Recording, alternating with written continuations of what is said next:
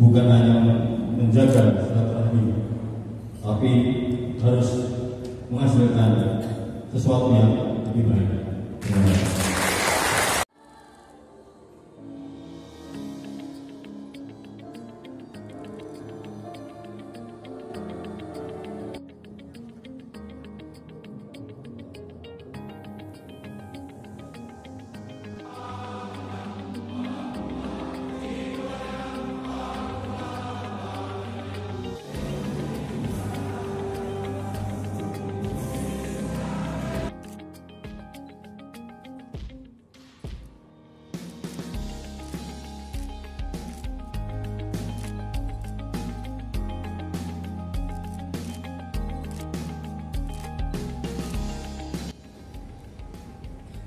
Sekali lagi belum banyak yang bisa saya kerjakan kembali namun demikian nanti ke depan mungkin Letnan Kolonel Romas akan jauh lebih baik dan punya waktu yang cukup untuk mendukung semua program-program pemerintah kota sehingga akan lebih sukses, lebih maju dan tercapai apa yang menjadi keinginan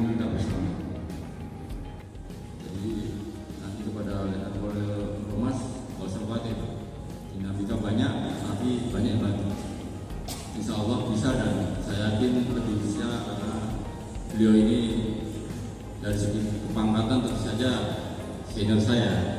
Keluarga besar Kodim 0410 Kota Bandar Lampung mendoakan.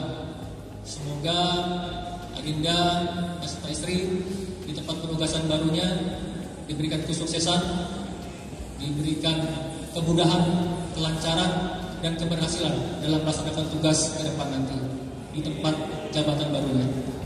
Mari kita sama-sama mensupport, mendukung, dan bekerja sama saling bersinergi khususnya kami jajaran Kodim 0410 Kota Bandar Lampung siap mensupport mendukung program-program yang dilaksanakan oleh Kota Madya Bandar Lampung yang saat ini dipimpin oleh Bapak Herman.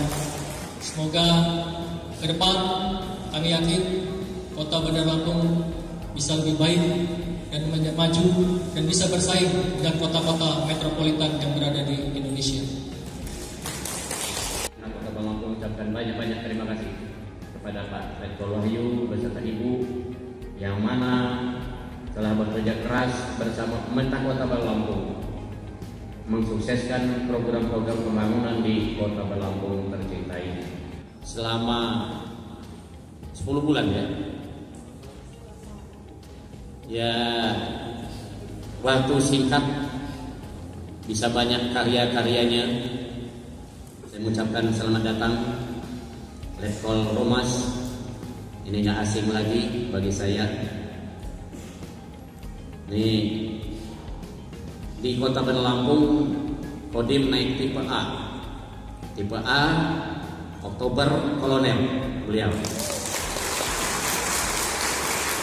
Kita doakan Romas ini uh, putra daerah kerjanya bagus terus bisa mendapatkan segera bintang satu, bintang dua, bintang tiga, bintang empat